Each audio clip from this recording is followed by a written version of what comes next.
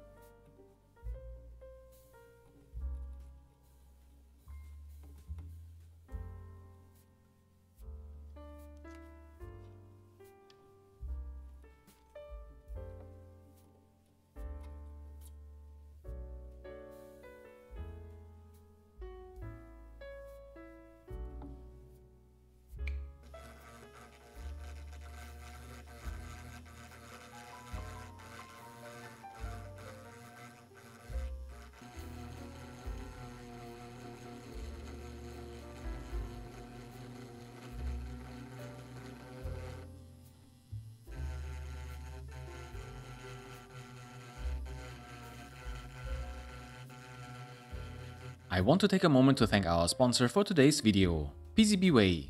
They offer a wide variety of services including CNC machining, 3D printing, sheet metal fabrication and injection molding.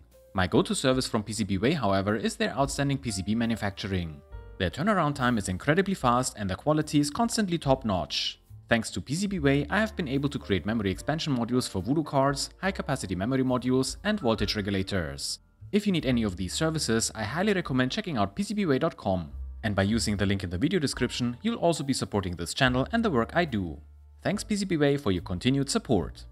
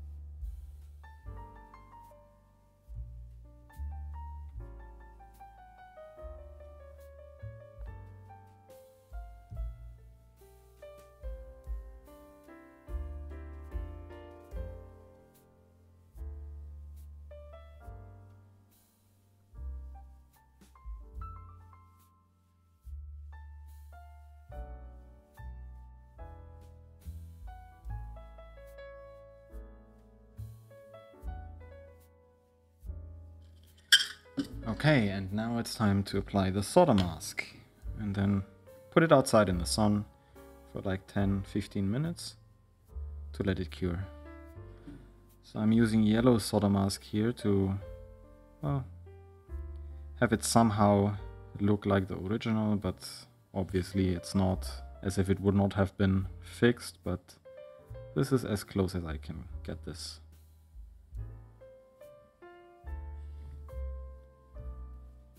So the solder mask I got from AliExpress and I'm really really happy with it.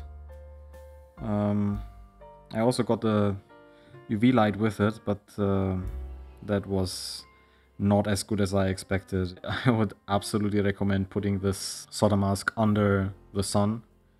It takes maybe 10-15 minutes to fully cure. It's it's just different uh, than a battery powered LED UV light.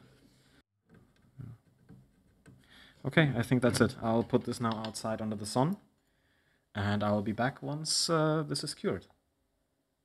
So, perfect. And now we wait.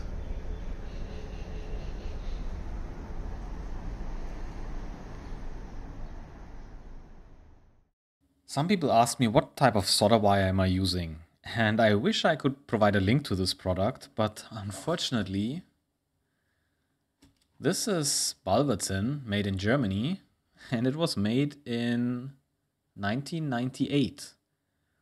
I don't think they make this anymore, but even though this is 25 years old, it works great, and every time I'm soldering something, I use this wire. Luckily, I still have quite a bit of wire left. I'm pretty sure this is going to last me for a very, very long time.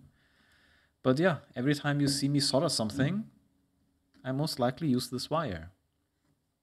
And I think it fits to my channel. I mean, retro hardware, retro solder wire. Why not? Let's have a look at the charging circuit of this motherboard. Here we had a chargeable battery and this provided some power to the BIOS chip when the board was powered off. But I will not replace the old battery with a new chargeable battery. I want to have a button cell battery here. Um, these are not chargeable and that's why uh, we have to disable the charging circuit. I'll put a picture on the screen with the pinout of the power adapter here. But if I'm not mistaken, in the middle here, this is all ground. They should all be connected together. I think these are four pins. Yes, and then we have, I think this is something else. I don't know right now. But these three on the right side uh, should be 5 volts. All three. Yes. So let's just see where this 5 volts goes to. It's, in the end, it has to end up somewhere here. And you can see here there's a plus for the battery somehow we should end up here on this on this uh, pad. But if i go yeah so there is no there is no direct connectivity. It probably goes through these resistors and diodes somewhere and um, we can go two ways. We can go backwards. I think this is uh, what i would prefer doing. Um, in the end we should end up at the power connector so first, this is the trace that we repaired. I put a wire in here and it goes to this, there was a pin header. So we have a connectivity here. Uh, I think these two are connected. I checked this before. These two are ground. Yes. So these two are ground on the right. The next one here is our plus terminal from the battery and this next to it. I don't know where this goes, but this is um, the external battery connector. So I assume this is the positive terminal of the external battery that also goes through the circuit here, powers the BIOS chip, and uh, is not charged by the circuit. So what we could do is I didn't think of that, and I'm not sure. You can let me know in the comments if that would have been a better option. We could have just not connect this wire back to where it originally connects to. We could have just connected it to the external battery. But in case somebody still hooks up an external battery later on and we have a button cell battery here, then there would be another problem. Let's keep the board as is. So if somebody goes ahead and expects some circuitry to be behaving in a certain way, it behaves exactly as it should have been originally. So then this connector goes probably somewhere to these uh, components here. No, not to this resistor. Okay, here we have uh, 153 ohms, but this is not a direct connection. Also not a direct connection. But here we also get uh, the same resistance. So these two probably are connected together, yes. Uh, but it's not our our connector from the battery, also not. So let's check the other side because we have some resistance here everywhere. No.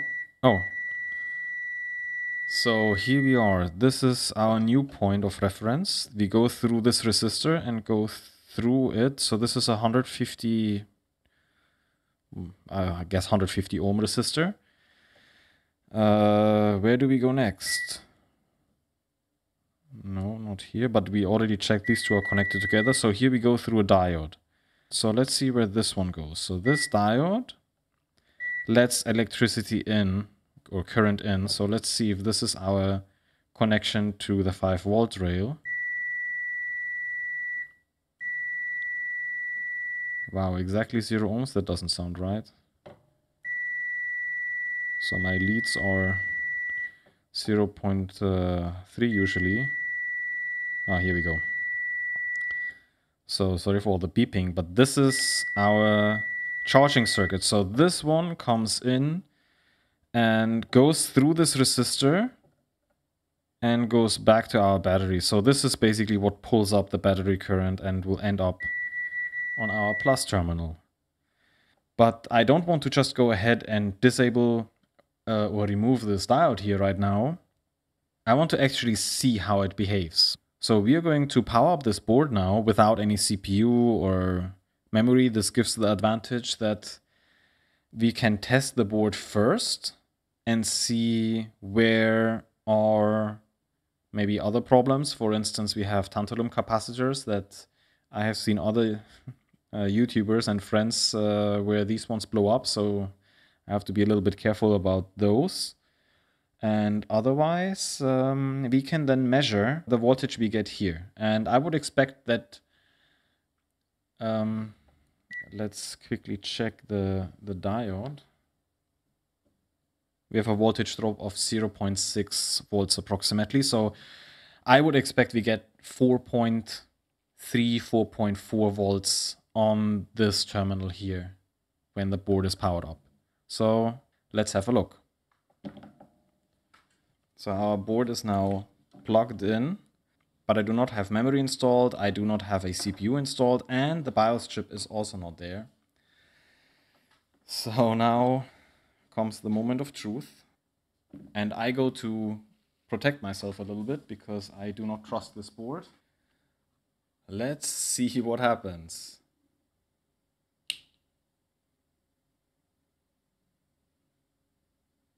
Okay. Uh, power supply is on. Nothing exploded. Uh, that looks like the board actually works. So let's uh, turn it back on and uh, measure some voltages. Okay, so I'm expecting here 4.3 volts, if I'm not mistaken.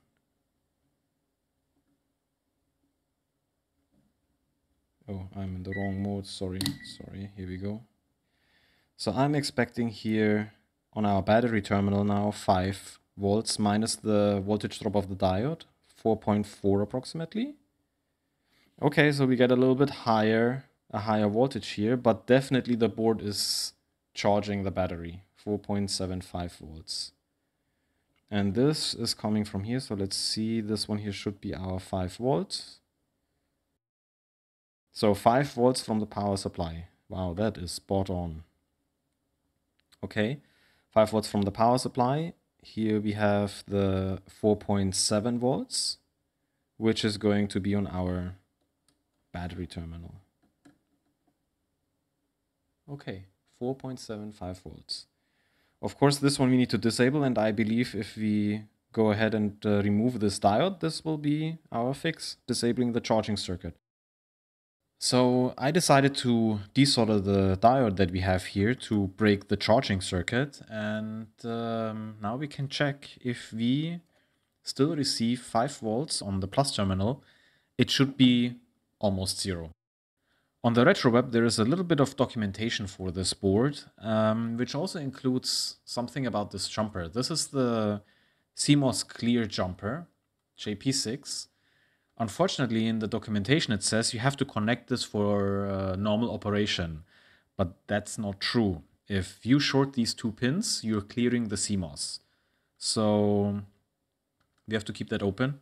But we'll see now what voltage we get on our battery terminal. Let's test this quickly with a multimeter. Let's power on the board. So let's see if we still get our 5 volts here. Yes, this is from the power supply. And before on the battery terminal we had 4 point something.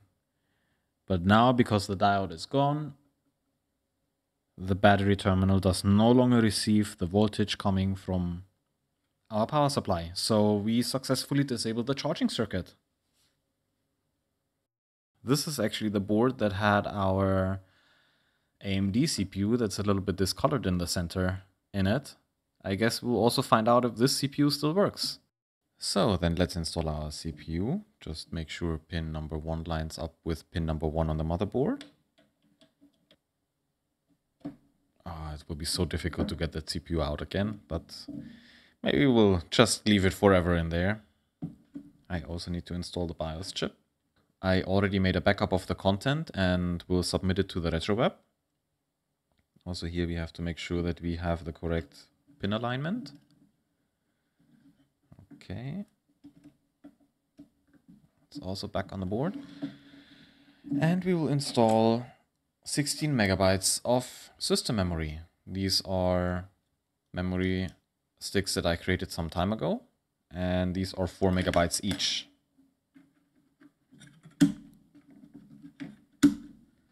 Okay.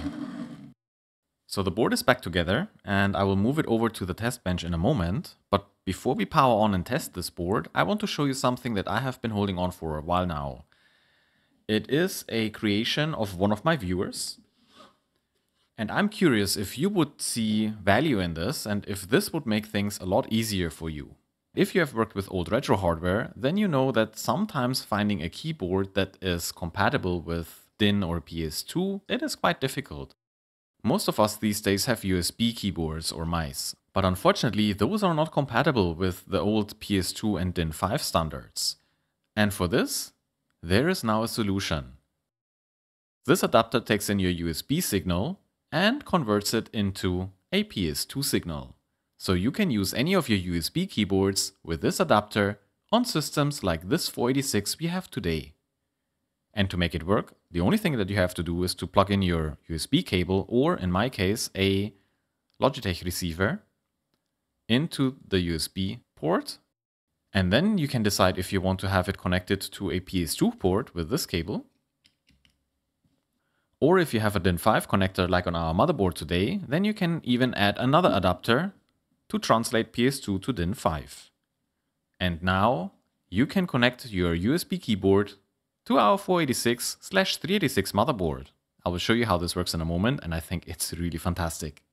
But let me know in the comments if you would be interested in something like this and if you think this would solve a major problem you have with your old retro hardware.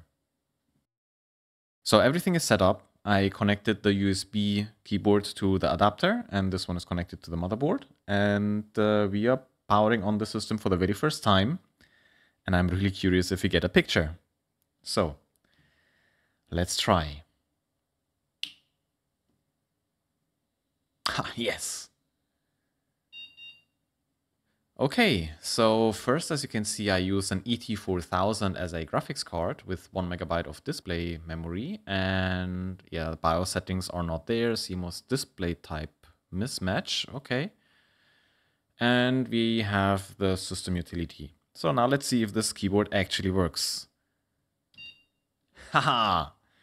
okay, so here you have your little adapter. That transmits USB keyboard signals to a DIN5 on a 386 486 motherboard.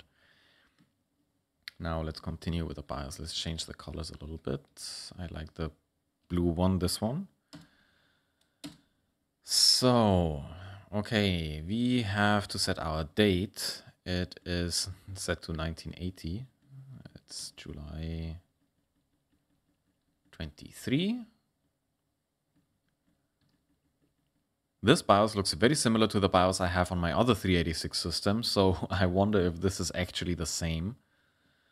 But uh, let's see. Okay, we have a floppy drive installed. And we have VGA options. Yeah, VGA. And keyboard is installed. What do we have in advanced? Okay, this is keyboard stuff numeric coprocessor is there. It's a 486 DX2. Oh yeah, how uh, a AMD CPU works, by the way, even though it's discolored in the center. System boot C, I hooked up a small SD card that has MS-DOS pre-installed and has all the benchmark tools that I will run in a moment. External cache is on.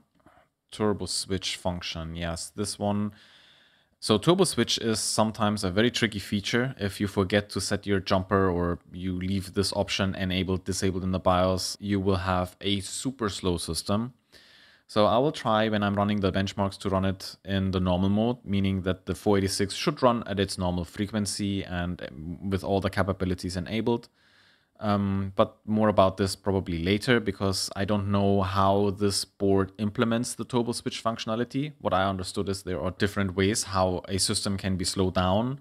For instance, you could disable the level 1 cache, which is possible with the 486, but a 386 doesn't have a level 1 cache. So maybe it disables the onboard cache, maybe it reduces the system bus frequency. Right now we're running at 33 megahertz, maybe it clocks it down to 20 or some other value. So I will uh, have a look at this and I will let you know how this is implemented on this board. What do we have here? Uh, a T-bus, so if we have uh, 33 megahertz, that divided by 5, that would be 6 point something. So I think this is uh, divider is too high. 33 divided by 4 is 8, 8, 8.25. So I think this is one what we have to have. Set up here, then we have DRAM wait states. I think we can go low on this one. These are pretty fast memory sticks. I think I ran them like this. Cache, I don't know. These are 20 nanosecond cache chips on the board. I will probably leave it like this. And then we have the local bus option. So this one is something that a lot of you reached out to me. On the board is this one socket that has a different color. It's brown. All the other ISA slots are black. After I cleaned the board, I could read on that socket EISA bus but this was an open standard. However, on this board, it looks like there is the OPTi local bus implemented, which uses the same slot, but it is not compatible. Physically it is, but electrically it's not. Some people reached out to me and shared their experience with the extended ISA bus, and unfortunately, some of them also got caught by this problem that these two bus types look identical physically, but they're electrically different. And they ended up ruining either a graphics card or ruined their board. And I do not want to risk it, so I will leave this completely out. Uh, shout out to Atheatos, who actually told me do not plug anything in this slot. So we'll not risk it, and that's why I will also disable this. I'm firmly believing that this controls the brown slot on the motherboard. So we'll leave this disabled. And that is all there is. Let's just quickly auto-detect the hard drive. 32 megabytes, yes, that's right. And there is nothing on the second drive connector. And that's it. So I will go ahead and run some benchmarks now, and I will let you know once I'm done with it. Also, a big shout out to Phil from Phil's Computer Lab for providing this little benchmark pack. It is amazingly simple to have all these benchmarks in one place. And let me know what you think about this uh, adapter and if you're interested in a full video about this adapter with its full capabilities and features. And we will try to get this ready that it is going to be available to everyone in the retro community. So now let's talk a little bit about benchmarks. I thought this would be quite easy, but I was very mistaken. First I tried to figure out how much of a slowdown we get when the turbo feature is off, and as you can see, PC Player looks like a slideshow and finishes with a score of 3 frames per second. And the same is true for Doom, and although the game performs a little bit better, we still remain below 5 frames per second. And in Cache Check, we can finally see how this board implements the turbo feature. The access time up to 128 kilobytes remains identical, so that means we don't have any level 1 cache. This is confirmed by the summary displayed at the end of the benchmark. Another tool for checking the available caches is SpeedSys. The graph on the right shows a drop in performance at 128 kilobytes, the size of the cache installed on the motherboard. And our CPU scored 11.39 points in the processor benchmark, sitting comfortably between a 386 DX40 and a 486 DX2-50. I want to bring this to your attention that this CPU performs better than a 386 DX40 before we go to the next benchmark, which is system information. And here, things suddenly turned upside down. We get a score for our CPU without the turbo feature switched on that is lower than an Intel 386 DX33. Something doesn't add up. The CPU seems to be still clocked at 66 MHz. The only thing we did was to disable the level 1 cache. A 386 also doesn't have a level 1 cache. However, we are clocked at twice the frequency, so I would expect a score of around 70 points. Of course, I reran the other benchmarks, and you can imagine that I was quite surprised when I got different results. The system felt faster. Here are just two examples. TopBench increased from 55 to 76 points. And the access time in cache check reduced from 78 to 40 microseconds. What is going on? I tried to figure out what happened, but I could not reproduce the lower scores we got in the initial benchmark runs. The only way how I could get them back was to reboot the system. I didn't want to spend much more time on this problem because, well, maybe it's an issue with the turbo feature implementation. So I continued to gather benchmark results, but this time with the turbo feature switched on, so the system should deliver its best performance. And it kind of did. In SpeedSys, the system scores 24.72 points. I think this is adequate for the system. And on the right in the graph, we see the drops at 8 kilobytes, which is the level 1 cache, and at 128 kilobytes, which is the cache on the motherboard. PC Player finishes now with 7.3 and Doom slightly above 15 frames per second. And in cache check, we can clearly see the different cache levels at 8 and 128 kilobytes. Anything above is the system memory. The summary at the end of the test shows us that we have now two caches available. Okay, so everything is good now, isn't it? Unfortunately, no. When I started system information, I got a score, but not one that I expected. 21.8. It's still slower than an Intel 386 DX33.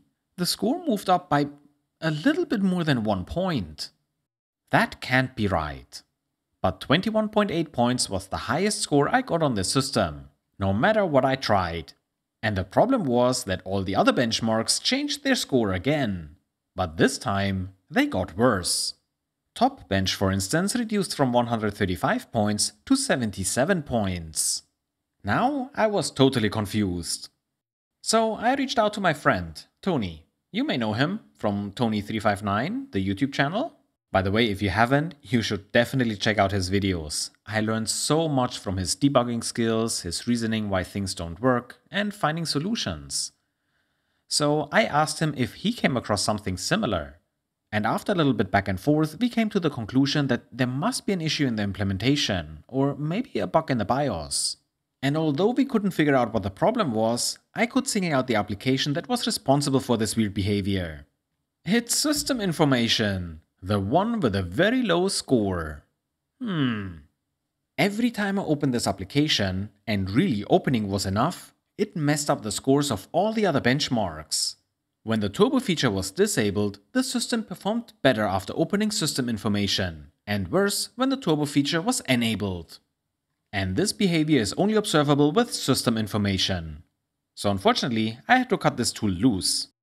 But even if you give the system the best possibility to perform well, it just disappoints. Those are benchmark results from my previous video when I tried the original Tomb Raider on the Socket 3 platform. We need to focus on the light blue bars which are the scores of an Intel DX2-66. A very similar CPU to what we have in our system today. The Intel system scored 11 frames per second in the PC Player benchmark. Our system today scored only 7.3. Doom is very playable on the Intel CPU, but with our system today and a little bit over 15 frames per second, you will definitely see some stutters. In TopBench, our system today scores about 50 points less at 135. And I don't even want to mention system information. You have seen the score of 21.8. The only benchmark where the values somehow make sense is SpeedSys. Our system scored 24.72 points today, which is very close to the 25.05 points of the Intel DX2-66. So in almost all benchmarks, our system today performed significantly worse. But what could be the reason? I tried so many things. I even replaced the AMD CPU with an Intel DX2-66. But I got the same results. Then I checked the manual. I went through all the jumper settings and made sure that everything on the board is configured correctly, but I didn't find any problems. And I also measured the bus frequency with an oscilloscope, but that was spot on at 33 MHz. So what could be the reason for the poor performance of today's system? Well, there are a couple of things to consider. First, today's board is limited to ISA slots only. That means we also need to use an ISA video card. The Soyo board I used for the other benchmarks had PCI slots, and if I'm not mistaken, I used a Tseng ET6000 as a graphics card. Furthermore, the Soyo board had 72-pin memory sockets, whereas today's board is limited to 30-pin SIMM modules. But I don't believe this to be a major issue, because both systems work only with FPM memory. So, now I'm curious what you have to say. Do you have any idea why the system performs so poorly? Could the poor performance be an issue with those mixed socket type boards where you have a 386 and a 486 on the same motherboard? Maybe the BIOS has some limitations, but a BIOS update is out of the question because there are none. The only BIOS image I have is the one I took off this board, which I need to upload to the Retro Web now. As always, let me know your thoughts in the comments. And finally, I want to thank all my Patreons for their invaluable support, and you for your time to watch this video.